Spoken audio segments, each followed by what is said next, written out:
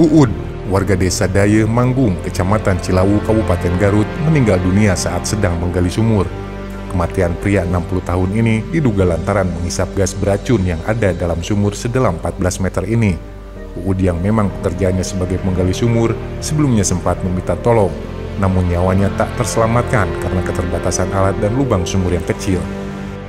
Petugas gabungan dari pemadam kebakaran, TNI, dan polisi mengevakuasi jasad korban dari dasar sumur menggunakan peralatan manual.